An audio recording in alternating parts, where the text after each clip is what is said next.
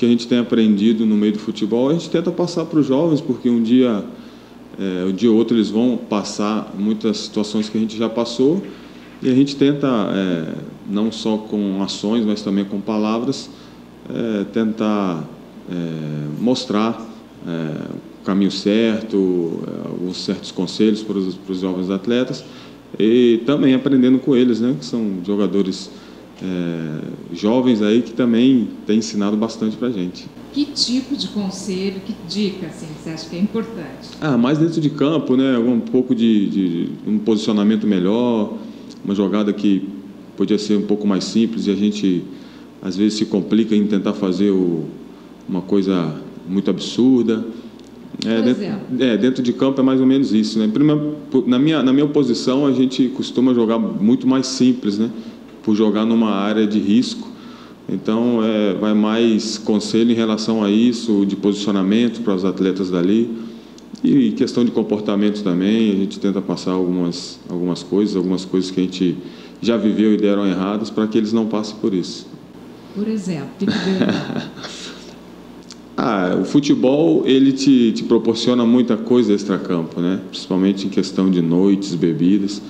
E mais jovem a gente acaba se iludindo com isso e, e às vezes perde-se oportunidades por causa disso. E aconteceu na minha vida já e eu tenho tento passar as experiências ruins que tive para que eles também não passem por isso.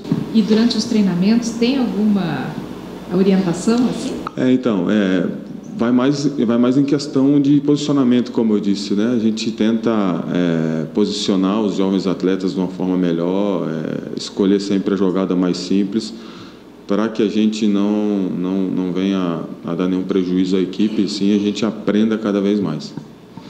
Aprender cada vez mais de um jogo para outro, a gente vai aprendendo, vai observando, vai corrigindo, vai melhorando, não é? Os erros, evidentemente, fazem parte, são inerentes ao ser humano mas do jogo para o Bragantino para o jogo contra o Mogi, houve falhas novas, mas houve acertos novos também. Qual o balanço que vocês fizeram? É, cada jogo que a gente vem aqui falar do pós, a gente vai encontrar alguma coisa a ser melhorada, né? Mas o bom é saber que as que ficaram para trás a gente conseguiu corrigir, que foi justamente o que eu toquei muito no ponto do, do jogo do, do Bragantino, foi com, que a gente sofreu quando a gente saiu da nossa característica. Eu acho que nesse jogo não, a gente é, de uma certa forma até correu alguns certos riscos por manter a bola no pé, mas foi isso que condicionou a equipe chegar também tantas vezes no gol adversário. Mas é claro também que fica algumas lições, não pode entrar os cinco minutos de apagão que a gente teve no início do jogo, foi realmente é uma coisa que precisa de ser, de ser melhorada. Eu acho que a gente também precisa de tirar mais a pressão do homem da bola, do, do adversário, que tem pensado bastante, tem chegado muito na nossa área. Mas isso aí são coisas que, que, que como eu disse, é, vão ser trabalhadas, vão ser corrigidas, até que a gente possa chegar num, num, num certo nível aceitável aí para a equipe. Gladson, o Caio Juan, jogador revelado pelo Botafogo, mas muitos torcedores ainda criticam o seu futebol, mas ele sempre que entra, eu percebo que ele sempre mostra muita garra, muita vontade dentro de campo. No primeiro jogo ele recebeu algumas críticas, principalmente no, no primeiro gol da equipe do, do Bragantino. Eu queria que você falasse um pouquinho agora dessa dupla de zaga, Gladstone e Caio Juan. O que pode oferecer mais para o torcedor botafoguense? Como você está se sentindo jogando um jovem jogador como ele? É, eu, eu tenho falado bastante do Caio, né? Ele é um cara é, dentro do, do, vestiário ali, é, sensacional estar com ele. E é um cara também que está sempre aberto à aprendizagem. E, e a gente tem conversado muito para que a gente é uma coisa que eu sempre toco no, no, no assunto com ele, ó, quanto mais a gente passar despercebido, para a gente é melhor. É porque é sinal que a equipe está indo bem, está indo, tá tudo justinho. Então é isso que a gente tem é, consertado, tem, tem conversado bastante para que essa dupla se entrose cada vez mais, a gente converse cada vez mais, para que dentro do campo a gente venha dar resultados. Gladstone, boa tarde. É, esse jogo contra o Volta Redonda ele teve uma, uma alteração. Né? Ele era pro, no domingo às quatro, passou para segunda às sete horas. Aumentou o tempo de preparação para esse jogo, mas diminuiu em relação ao outro final de semana. Para você, é, como é que você vê esse, esse aumento de preparação para um jogo, mas diminuindo depois no jogo, que, se não me engano, é contra o Joinville aqui em Ribeirão Preto? É difícil falar sobre essas mudanças, né? Sempre refém disso, mas fazer o quê? Eu acho que é, é como você disse, a gente consegue recuperar melhor para o próximo jogo, mas também na semana seguinte a gente é, fica sem tempo para corrigir alguns erros que vão acontecer dentro da partida.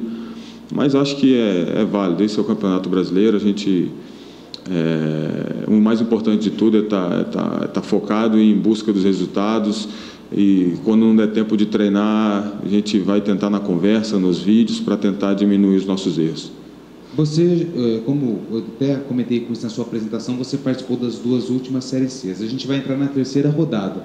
Muito se falou de alguns clubes, por exemplo, o Mojimirim, que ia entrar por conta do rebaixamento no Paulista, ia ser um time frágil em relação ao Campeonato Brasileiro da Série C, o próprio Macaé, e são times que o Mogi ainda não ganhou, mas deu trabalho para o Botafogo, e o Macaé venceu a equipe do, do Bragantino lá no Rio de Janeiro. Apesar de a gente ir para a terceira rodada, você já consegue ver que tudo que foi falado não está acontecendo e você já consegue fazer uma análise dessa Série C ou ainda é muito cedo?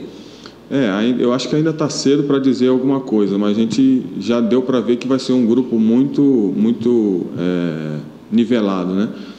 Eu tenho certeza aí que o Mojimirim é uma equipe que vai dar muito trabalho aí para quem vai subir, quem vai, vai disputar ali a, é, a classificação.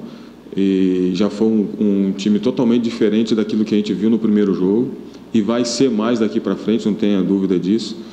E eu acho que está muito nivelado, vai ser assim até o final. E, e bato na Atlético de novo. Acho que quanto mais é, regular nós formos, a gente tem grande possibilidade de classificar. Essa regularidade que você fala, ela passa pela obtenção de resultados também, não só questão tática, técnica, mas também de resultados. É, olhando por esse prisma, o Botafogo está invicto. Né? Jogou duas, empatou uma, venceu a outra. É possível manter essa regularidade, é, principalmente jogando fora de casa, contra o Volta Redonda nesse caso? Possível, é possível. Muito difícil a gente manter isso até o fim da competição, mas por que não correr atrás disso? Né? Acho que a gente vive é, de desafios, né? O jogador gosta de desafios e eu acho que esse é um desafio que a gente tem, quem sabe a gente conseguir aí é, bater o recorde aí, sei lá, manter essa, essa, essa regularidade aí por um bom tempo, é, mesmo sabendo que vai ser muito difícil. Tem, como eu disse, é uma chave é, muito regular, uma chave muito difícil, está tá se mostrando isso.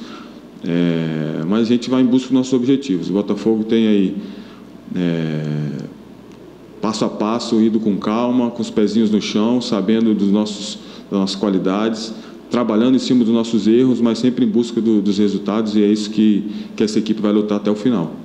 Gladstone, pela primeira vez jogando no Santa Cruz, na vitória de 2 a 0 em cima do Mojimirim, como você sentiu o gramado do Estado de Santa Cruz, o estádio? O que você achou da torcida botafoguense? É muito bom, a primeira vez que eu, que eu joguei, é, muito bem recebido aqui pelos torcedores, pela imprensa, por todos, muito feliz com isso. É, de ter feito também um bom jogo, ter estreado com vitória dentro de casa foi bom. É, o estádio é muito, é muito, muito aconchegante. E também tem uma acústica boa, né? Espero que a gente possa é, é, trazer mais torcedor. Acho que isso a gente isso é papel nosso, né? Enquanto quando as coisas dentro de campo estão surtindo bem, o torcedor compra a ideia e vem junto. E eu acho que que essa casadinha vai ser boa aí com a gente.